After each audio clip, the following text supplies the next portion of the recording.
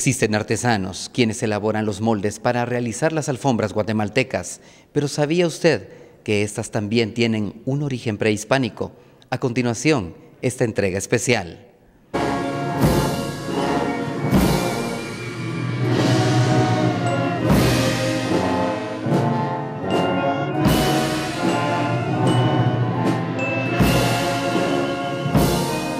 Siempre hemos conversado acerca de las alfombras guatemaltecas, las que tienen un origen prehispánico, pero principalmente es un arte efímero que decora las calles y las avenidas del corazón de nuestra ciudad, además de la ciudad de Santiago de los Caballeros, hoy la antigua Guatemala.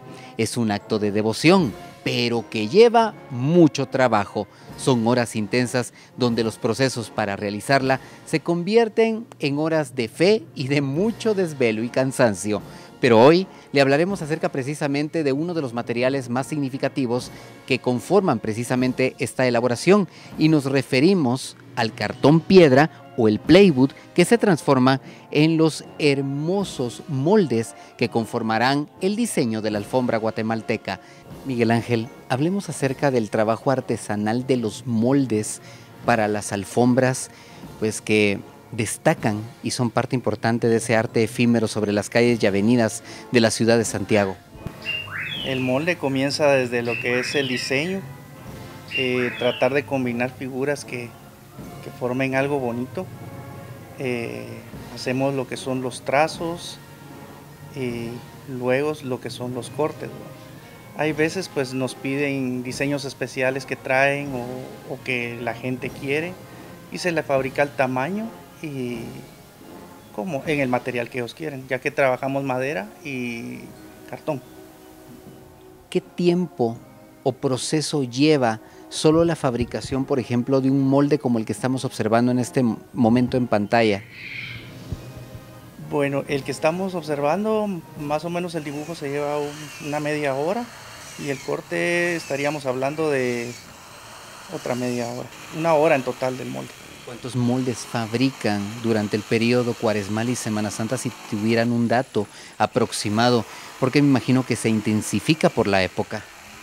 Pues la verdad le digo, eh, cuentas de cuántos moldes eh, no tenemos, pero nosotros trabajamos eh, varios meses antes de cuaresma. ¿Cómo surge este trabajo familiar?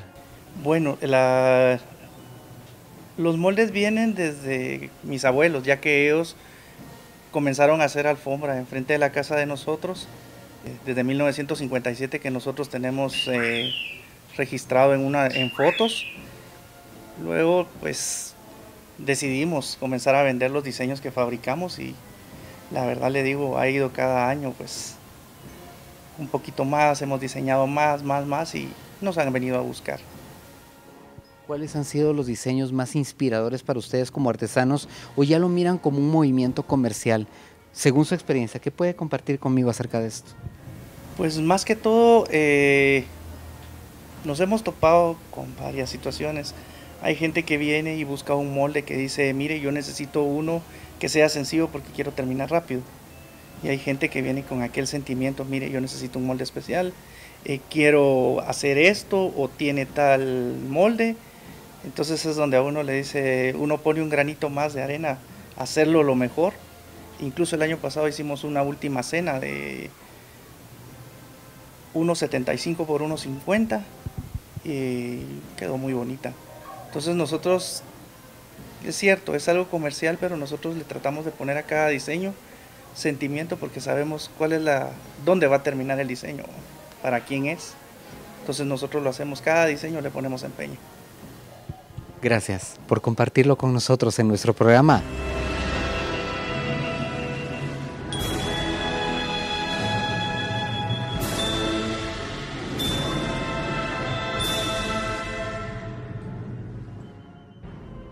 Las alfombras de serrín, flores o frutas constituyen una de las características más importantes de la conmemoración de la Semana Santa y Cuaresma guatemalteca. Las largas alfombras propias de la cultura forman parte del llamado arte popular efímero y están enraizadas en la memoria colectiva del guatemalteco desde hace mucho tiempo. Son un claro ejemplo del sincretismo religioso y cultural. En la época prehispánica se conoce por los cronistas españoles del siglo XVI y los testimonios indígenas escritos que los señores y sacerdotes caminaban en ciertas ceremonias sobre alfombras de flores, vegetales y plumas de aves preciosas. Esta tradición mesoamericana se encontraba presente, en particular, entre los indígenas tlaxcaltecas que durante la conquista en el siglo XVI fueron traídos como personal militar de apoyo por los conquistadores ibéricos. En la ciudad de Santiago de Guatemala, en el año de 1527, a estos indígenas les fue asignado un solar para vivir en donde hoy se encuentra el pueblo de Ciudad Vieja en Zacatepeques.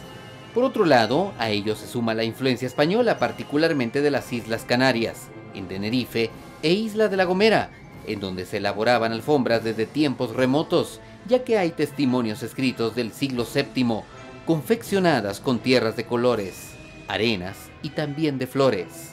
Otra tradición primitiva catalana consistía en sembrar el suelo por donde debía pasar la procesión. Estas se hacían de ramaje de plantas olorosas como el romero o el espliego, que, junto a los pétalos de rosas que se echan al paso del Santísimo, crean un ambiente especial, medio campesino, medio urbano, por donde había de pasar la procesión. El valor sagrado del incienso del copal lo adquiría en sentido traslaticio, el romero o la murta que los huérfanos valencianos esparcían antes del comienzo de la procesión.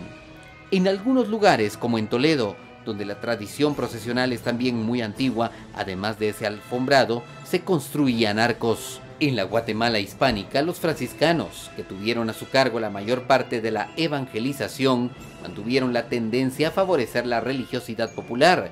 Uno de ellos, Pedro de Betancourt, quien era originario de Villaflor, pueblecito de Tenerife, por lo que conocía las tradiciones canarias. Con este origen y con el desarrollo histórico de los siglos XVII y XVIII, las alfombras se sincretizaron e hicieron guatemaltecas porque se cargaron de un nuevo contenido que las llevaron a formar parte de la cultura de los habitantes. Su funcionalidad está muy ligada al culto propiciatorio y rogativo. Elaborar una alfombra significa para los creyentes agradecer un favor, un milagro, y se convierte en obligación personal del individuo hacia la imagen que venera, que son en Guatemala los crisos yacentes, nazarenos y las advocaciones de la Virgen de Soledad y de todos los dolores.